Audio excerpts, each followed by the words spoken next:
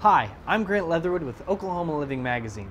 On this episode of Table Talk, we've got the scoop on a tasty shop in Stillwater. Blue Spruce serves up handmade gelato and sorbet, craft coffee, and loose leaf tea. So, let's see what makes this place so cool. Colby came up with the idea when he was in college.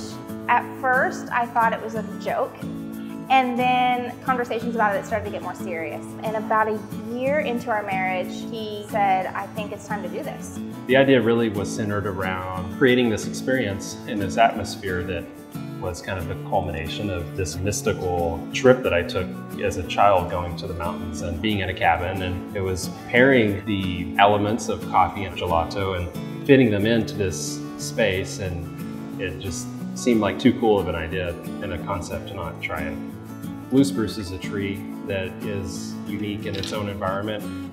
So we are, as a business, we're also unique in the business environment of Stillwater. So it's fun being different. It's fun kind of having our own originality in the community.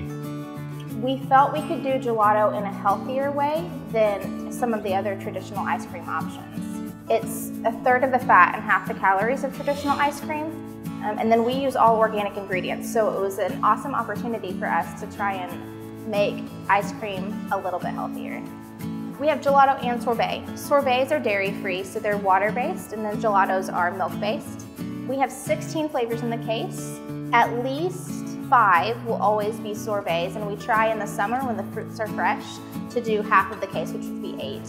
So we start with bare raw ingredients. We scale it out depending on the recipe. Then we put it into the machine that cooks it for the first about eight minutes of the process.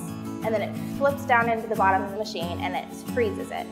Then we blast freeze it, which just means it freezes it really quickly and pretty hard. And then it just goes right into the freezer and it's ready to serve.